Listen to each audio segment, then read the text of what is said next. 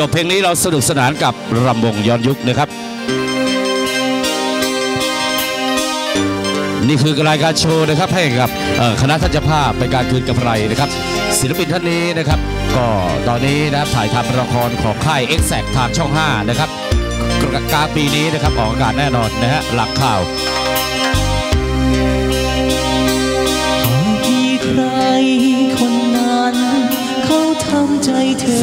มือเป็นกำลังใจ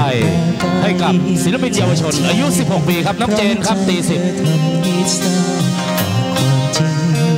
ฝากไปของใจใครคน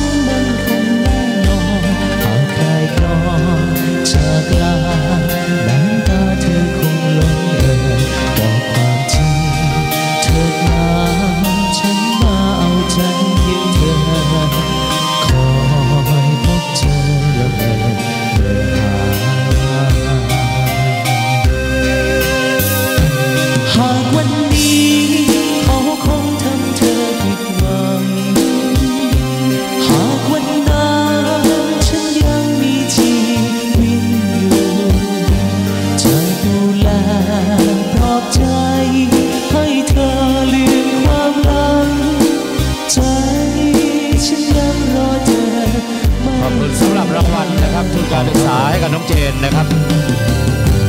จดจำคำ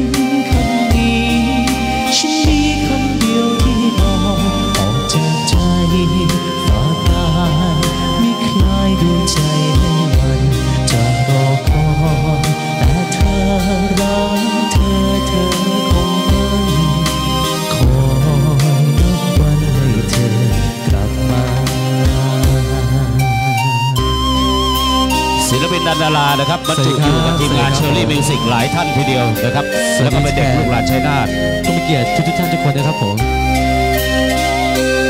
รวมทั้งทีมงานตลกประครับเชิญยิ้มนะฮะก็ลูกหลานนะครับทีมงานเชอรี่นะครับ แล้วก็น้องเจนนะครับเออเพลงนี้ถ้าใครเกิดทันช่วยร้องตามโอ้ด้วยโหครับผมหนูยังเป็นวุ้นอยู่เลยตอนนั้นนะลูกใช่เอ้ผมยยังไม่เกิดเลยครับผมอ้าวหากวัน